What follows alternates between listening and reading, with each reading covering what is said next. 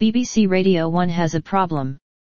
But it's not the playlist, it's listening figures or social media following that controller Ben Cooper is concerned about, it's where the next generation of presenters is coming from. It's everyone's favorite game at Radio 1 to try and second guess me and come up with their fantasy schedule, he laughs as he speaks to the BBC on Wednesday morning. Cooper is chatting to journalists as he unveils Radio 1 Vintage, a pop-up station which will broadcast old shows from across the decades as part of the station's 50th birthday celebrations in September. He describes the new venture as a great way of celebrating Radio 1's history, but what about its future? I'm not planning any schedule changes at the moment, he says, but I'm always looking for fresh new talent, for the next set of presenters, but I think it's really weird how it's getting harder. It's getting harder because you don't have the likes of MTV presenters like Cat Deeley, Edith Bowman, Trevor Nelson, or Zane Lowe. You don't have T4 with Vernon Kay and Dermot O'Leary you don't have CDUK or Top of the Pops so it's really hard to find that next group of presenters that are coming up.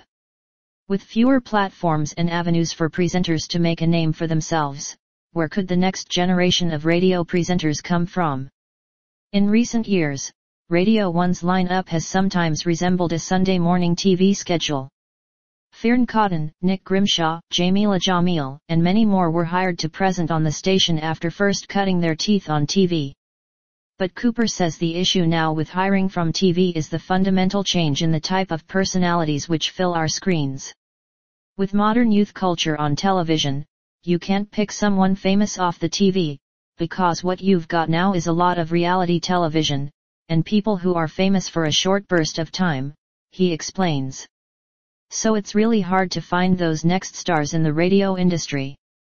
Saying that, Radio 1 has flirted with reality TV stars in the past, like when Kelly Osbourne was hired to present The Surgery. But she lasted less than 18 months and the station has rarely done it since although early breakfast host Adele Roberts was once a Big Brother contestant. When Dan and Phil joined the station in 2012, listeners' reactions ranged from massive excitement to sorry, who? While Radio 1's older listeners might not have heard of vlogging, hiring YouTubers who have built up their own following online seemed like a logical next step for a station which is constantly chasing a young audience. The show was popular, but the pair, otherwise known as Dan Howell and Phil Lester, left after four years. Cooper says, We've looked at YouTubers, people like Dan and Phil, but they get tempted by huge amounts of money and go off on world tours around America and Australia. We may well see more vloggers hired to present on the station in the future, but it's likely the publicly funded Radio 1 will struggle to compete with the money that YouTubers can make from lucrative merchandising and endorsement deals.